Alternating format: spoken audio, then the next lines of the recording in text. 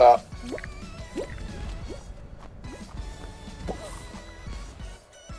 where are you? Yeah. Did you win?